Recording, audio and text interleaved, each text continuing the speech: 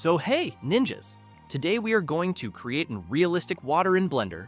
So let's add a cube first. Move it up, add a base to it, a simple plane, scale it up, and give it some material to it. So let's come to the shading tab. I'm already in the rendering tab with cycles on, so add a black color to it, increase roughness, and decrease the IOR values. Okay, we are done here. Click on the main object. So add an ocean texture to it. So click on displace. We also have to add a subdivision to it. Add a few more subdivisions like 25 or 35 something.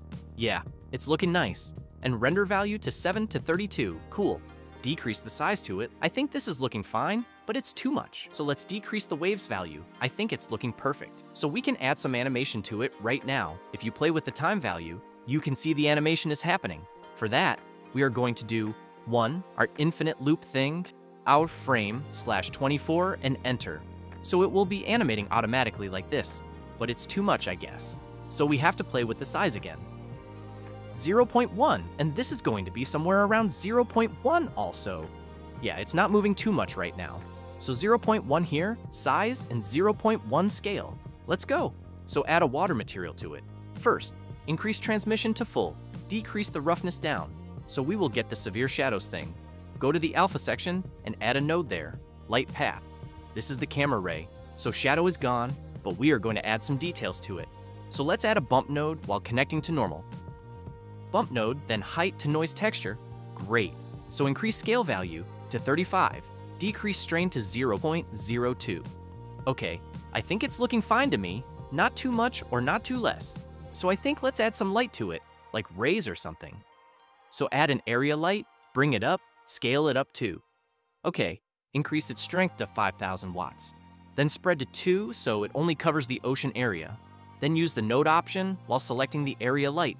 So we are going to edit some things in the area light. 1. Add a wave texture. 2. Add a color ramp node. 3. Change the ramp setting to like this and distortion to 30. I think 0.5 works better for me. So let's copy this. Copy these two nodes. Shift D, add a mix A node, remove this, connect this toe point B, and result to color. And also change the second value, something different. So you can see if you play the animation, it will change the difference in the rays of the area light waves. So I think we are almost done here. So let's add some volumetrics to volume or depth to our ocean. Add a principled volume. Decrease this value. Increase anisotropy to something between 0.6 or 0.7 so it can capture the natural light tone to it. So if you want to change the color of the rays, you can add mix shader here first, then volume absorption. So if you change the color of it, it will affect the whole scene like this.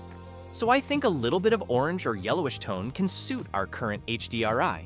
We can just keep it white so it can naturally get that tone. So yeah.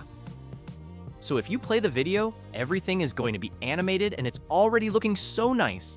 You can change its value 0.1. I think it's looking great already. So here you guys can create a realistic water with some nice reflection, some texture in it. So this is how you guys can do it. You can always just play the texture and values to get your desired result or something. So this is how you guys can do it in Blender easily. So thanks for watching guys. Keep improving. See you in the next one.